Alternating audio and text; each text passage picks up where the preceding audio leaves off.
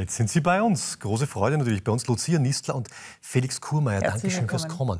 Da geht es ja drunter und drüber in dem Stück. Ja, Wahnsinn, oder? Ja. Ja, aber das ist das Thema, es ist ein spannendes Thema. Hier wird äh, Liebe 360 Grad erklärt und es ist eine besonders lustige, aber auch sehr tiefschürfende äh, ja, Beziehungskomödie, kann man es nennen. Und dann gibt es einen, der ist eigentlich an allem schuld, mhm. dass alles durcheinander kommt. Ja, ich bin ein Psychotherapeuten und durch eine paradoxe Intervention, das ist ein Fachbegriff aus der Psychologie, wird diese Familie wirklich auf den Kopf gestellt und dann eigentlich als geheilt entlassen. Das ist das Interessante. Ja. ja.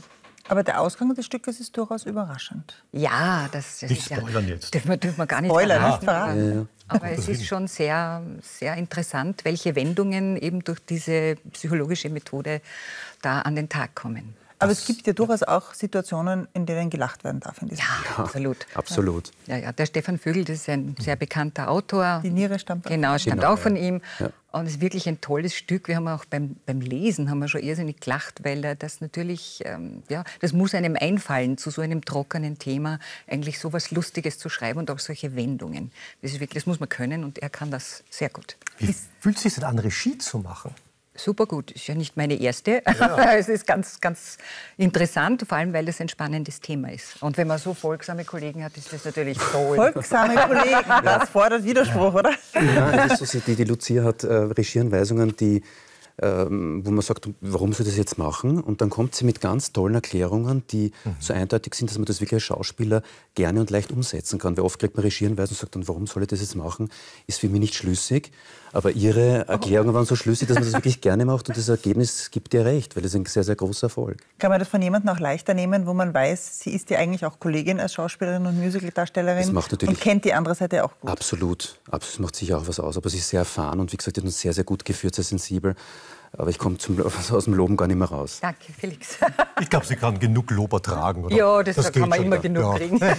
Aber wenn ich schon mal drüber nachgedacht habe, also mal geschaut habe, äh, Oscar-Preisträger sind selten eigentlich Regisseure, die vorher Schauspieler waren. Das war ein No-Go früher. Inzwischen gibt es das immer öfter, oder? Warum ist das ja, so? Es ist eine ja, wahrscheinlich auch eine gute Entwicklung. Mhm. Und es hat bei mir ja, es ist eine, Parallel, eine Parallelgeschichte gewesen. Ja. Ich komme eigentlich aus Musiktheater, habe auch Gesang studiert und ähm, das hat sich ergeben. Da wächst man hinein und jetzt mache ich eigentlich viel mehr Schauspiel als, als Musik. Ist natürlich auch ein natürlicher Prozess, weil die Stimme sich auch verändert im Alter und mhm. das gerade bei Frauen. Mhm. Jetzt spielt er in einem sehr kleinen Theater in dem Fall. Ähm, merkt man da, spürt man das ja nach, die Reaktionen des Publikums? Das ist ja sicherlich auch sehr spannend, gerade bei so einem Stück, irgendwie, wenn man das Absolut. erste Mal dann damit... Es ist total, wirklich, es ist sehr intim, hat einen direkten Kontakt zum Publikum. Die Freibühne Wieden ist äh, ca. 40 Jahre alt und ist eine, eigentlich eine Uraufführungsbühne geworden, jetzt unter Michaela Ernstein. Mhm. Und äh, das ist, sie heißt auch Freibühne Wieden, das heißt, sie traut sich über Themen drüber, die manchmal vielleicht ein bisschen grenzwertig sind und dadurch natürlich, dass das Publikum sehr, sehr anzieht. Natürlich, das Publikum sagt, okay, dort sind meistens immer spannende oder sehr aktuelle Stücke und das macht das auch für uns Schauspieler und natürlich Regisseure sehr, sehr interessant natürlich. Es ist wirklich ein, ein, ein, kleines, homogenes Haus und ähm, man sitzt quasi fast dran oder auch drinnen in ja. der Deko. Und dadurch ist man im Stück sofort integriert. Also es ist schon ein ganz ein feines Haus. Lacht das Publikum immer an denselben Stellen oder ähm, Spürst ja. es ist natürlich so, es ist so wie bei einem Wein, der gut reift. Das ist natürlich die, von der Premiere weg spielt sich immer mehr ein. Und man weiß dann schon, auch als Schauspieler, wie man gewisse Pointen setzen kann, damit mhm. das, das, Publikum noch mhm. mehr lacht. Das ist auch bei uns der Fall. Die Lacher nehmen zu und das wird sich bis zur letzten Vorstellung, bis zur Tenere sicher noch fortsetzen. Aber es ist für uns wirklich das, ein, ein Hochgenuss, wenn man das Publikum so erreichen kann mit einem sehr, sehr aktuellen Thema, das uns alle betrifft. Es ist ein kleines Team, vier Leute seid ihr, glaube ich, genau. auf der Bühne. Genau. Wächst man da eigentlich in der gesamten Zusammenarbeit noch mal ein Stück näher zusammen? Ja. Absolut. Das ist, das sind, also das ist ein sehr freundschaftliches Team. Ähm, ist bei mir eigentlich meistens der Fall gewesen, habe immer Glück gehabt. Aber so wie Sie richtig sagen, das ist dann schon wirklich, äh, man trifft sich mit Freunden und mit Freunden zu arbeiten, ist natürlich ein spezieller Hochgenuss. Ja. Sie sind freier Schauspieler. Genau. Stelle ich mir Management gar nicht so einfach vor, zu schauen, einfach zu organisieren, wann habe ich Zeit dafür, wann Zeit dafür. Und Seminare geben Sie, glaube ich, auch noch. Genau, Seminare gebe ich auch. Äh, das ist vollkommen recht. Das ist ein bisschen von der, vom Time-Management, von Zeitmanagement ist ein bisschen schwierig, aber es geht sich immer aus. Und vor allem, was es so spannend macht, dass man wirklich immer neue Eindrücke bekommt. Es kommt nie irgendwie zu, einem, zu einer Routine. Ja? man weiß noch nicht, was man in einem Jahr macht und plötzlich läutet das Telefon, man ist wieder in einer neuen Produktion drinnen. Das ist an der freien Szene halt besonders schön.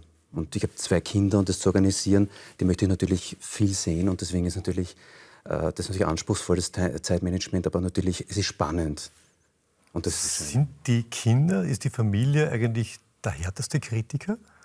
Weil wir alte Kinder jetzt sind natürlich. Ähm, meine Tochter ist zwölf, die hat mich heute eingekleidet. Also. Der Papa zieht ja bitte ein, ein schwarzes Sakko und das schaut besser aus. Und mein Sohn ist auch ein Kritiker. Also wie gesagt, das ist, und ich höre sehr auf meine Kinder, weil sie wirklich einen, einen sehr guten Blick haben. Ja. Mhm. Ähm, ein anderes Projekt von Ihnen ist auch die Keller, Kellergassentheater mhm. im Sommer. Mhm. Ähm, da kann man wieder aber dann ganz was anderes machen, quasi künstlerisch. Ja, das ist ähm, Theater, das wir auch anpassen an den Ort. Mhm. Das ist immer ganz wichtig, dass es dorthin passt. Und äh, die Keller, die wir zur Verfügung haben, müssen wir auch bespielen können. Das ist wichtig für uns. Sie geben auch Seminare.